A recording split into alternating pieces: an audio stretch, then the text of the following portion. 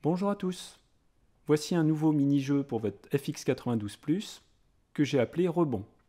Alors on va commencer par taper le programme. Donc menu 8, options, aller à. Pour le X, vous tapez moins 90. Pour le Y, alpha RAN int moins 19 point virgule 19 donc le curseur va se retrouver à gauche de l'écran en moins 90 et la hauteur sera un nombre au hasard entre moins 19 et 19. Exécute.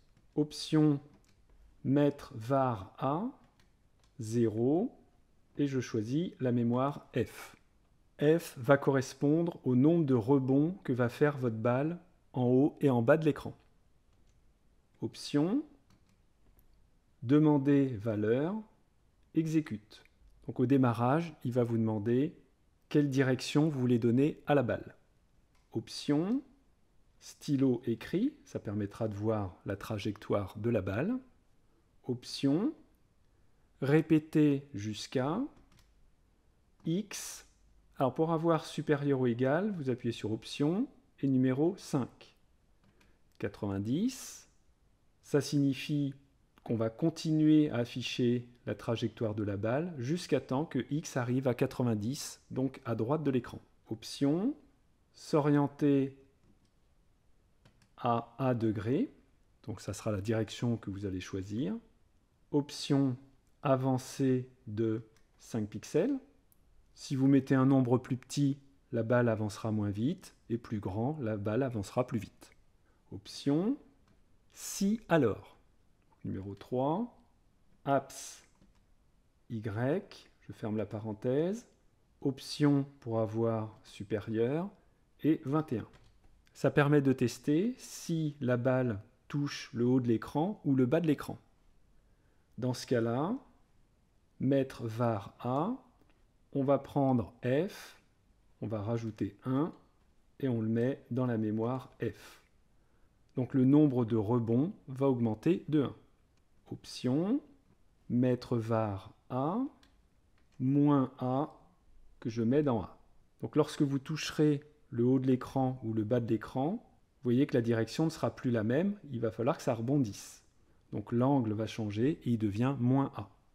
Je me mets tout en bas, option, si alors sinon, numéro 4, alpha F, option, plus grand 10.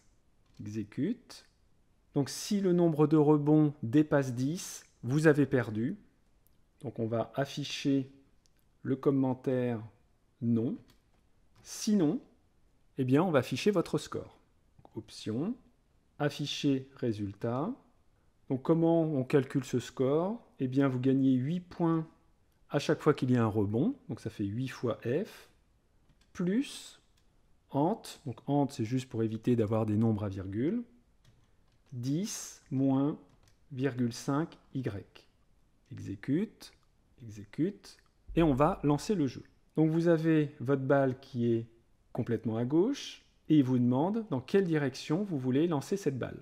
Donc direction 0, c'est à l'horizontale, 90, c'est vers le haut, et moins 90, c'est complètement vers le bas. Donc là, je vais mettre 45, donc ça veut dire en diagonale comme ça. Exécute. Donc on voit que la balle va rebondir et le but est qu'elle arrive au plus près du coin qui est tout en bas à droite. Donc là j'ai eu 1, 2, 3, 4 rebonds. Chaque rebond me donnait 8 points, donc ça fait 32 points.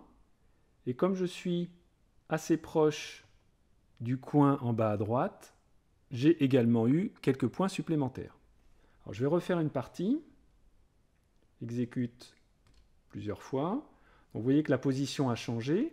Alors je vais par exemple essayer d'aller vers le bas tranquillement. Je vais mettre par exemple moins 10. Exécute. Vous voyez que ça descend petit à petit. Donc là je m'approche pas mal de celui-là. Et j'ai gagné 20 points. Donc ça c'est bien. Mais comme j'ai pas eu de rebond, eh bien finalement ça me fait un score qui est assez petit. Donc il faut réussir à faire un maximum de rebonds sans en faire plus que 10 et en même temps être au plus proche de ce coin-là. Donc j'en fais un petit dernier. Si je mets par exemple 70, donc là je vais avoir pas mal de rebonds et j'ai bien peur d'avoir même trop de rebonds. Là j'en suis déjà à 6 rebonds, 7, 8, 9, 10. Donc là j'ai eu de la chance. J'ai fait 10 rebonds, donc ça m'a donné 80 points et un seul petit point parce que je suis très loin d'être en bas à droite. Donc si vous arrivez à atteindre 100 points, vous êtes un champion. Voilà, à bientôt